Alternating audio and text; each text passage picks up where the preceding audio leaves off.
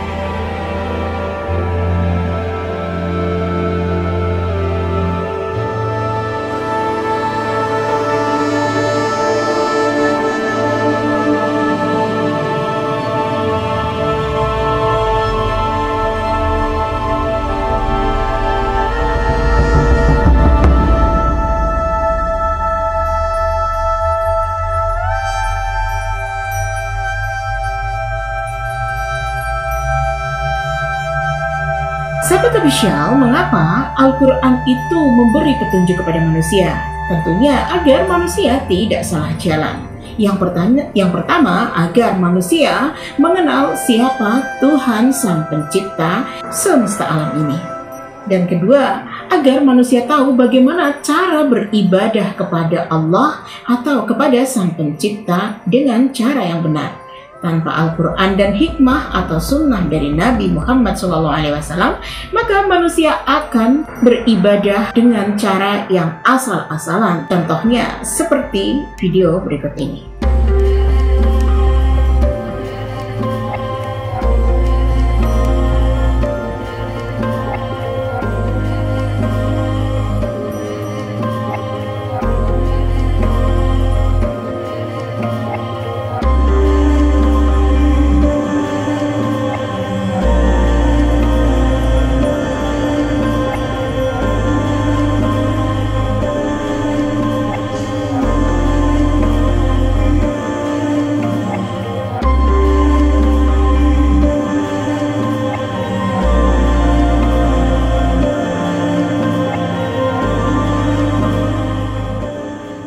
Sahabat-sahabat official, kami tidak akan bertanya kepada umat sebelah atau agama tetangga karena memang tidak ada dalilnya tata peribadatan atau penyembahan terhadap Tuhan dengan cara yang seperti ini.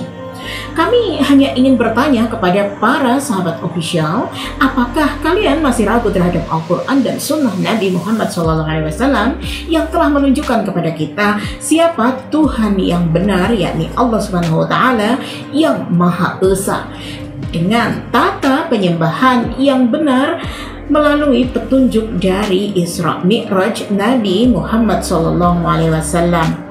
Sungguh jika hati kita yakin maka silahkan bersalawatlah kepada Nabi Muhammad SAW.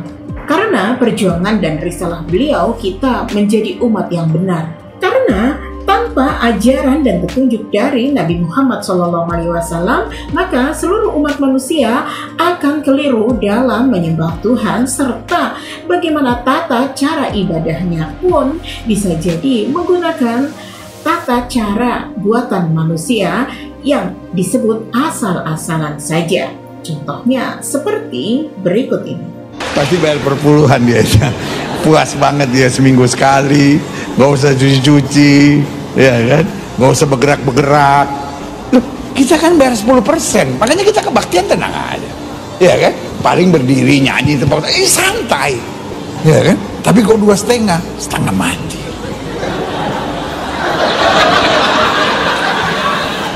Allahumma salli ala Sayyidina Muhammad wa ala ali Sayyidina Muhammad Alhamdulillah dengan melihat video-video tadi, kami bersyukur tidak menjadi golongan orang-orang yang tidak mendapatkan petunjuk lagi sesat. Kami semakin yakin dengan kebenaran Islam.